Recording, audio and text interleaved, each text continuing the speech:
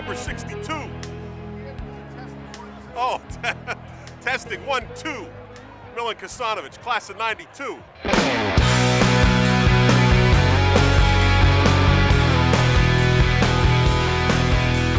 Hey Mike, it's John Brzezinski, Ski, 79, uh, your former teammate.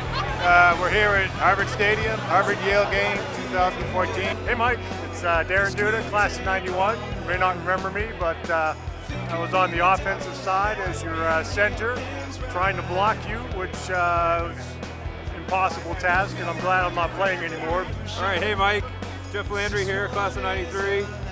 Ended up here next to Ski and Duda. Just wanted to wish you the best. Keep fighting, man. We got the family here from San Francisco. Go Crimson. Hey Mike, Tony Consigli, class of 89. Hope you remember me, I'm the center. I'm a little skinnier than I was back then, but you used to kick my butt up and down the line. You and Gasevich and the rest of the D linemen and those those drills that Corbin and Lou Barricchione used to dream up.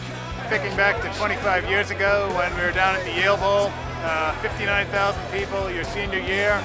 Uh, no one expected us to win that game. Yale had already clinched the Ivy title, and we went out and gave them a beating. Hey Mike, it's Tony Cousin. You might not recognize me. I've uh, put on quite a few pounds since college. Just remembering all those practices, running those drills with Mad Dog. I want you to know that uh, I was thinking about you. Stay positive and, uh, you know, keep your faith. Football was great with you. You know, really loved it, and uh, you know, keep fighting the way you fought back then. Wish you the best of luck. You know, it's heartbreaking to see what you've been going through, but at the same time, it's amazing. Your strength, your resilience, it really is an inspiration to us all. Uh, Mike, how are you? It's Laushi.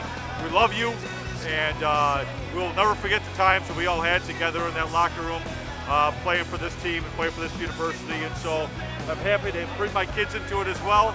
And best of luck, and God bless. Hi, Mike.